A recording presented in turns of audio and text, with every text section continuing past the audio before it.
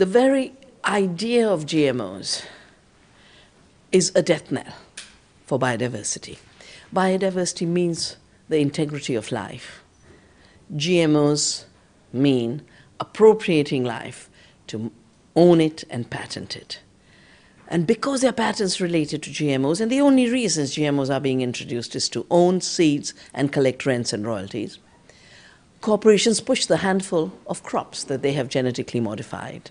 So you can see in the last few years, cropping systems have been reduced to corn and soya and cotton and canola when we have cultivated and eaten thousands of crop varieties and species.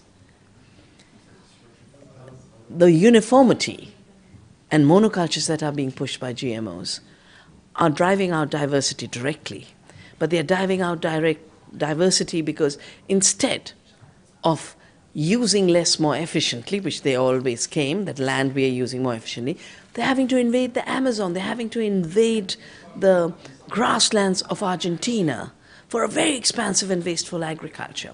And when you spray Roundup on Roundup ready crops, you are literally killing food and diversity. When you plant Bt cotton seeds, you are killing the bees and the pollinators and the soil organisms. GMOs are a recipe for ecocide. But they're not just a recipe for ecocide and the destruction of biodiversity, they are also killing our farmers. 284,000 Indian farmers have committed suicide. Most of them in the areas where cotton is grown, 95% of the cotton is now genetically modified, owned and controlled by Monsanto. The farmers are dying because Monsanto is making profits by owning life which it never created but pretends to create. That is why we need to reclaim the seed. That is why we need to get rid of GMOs.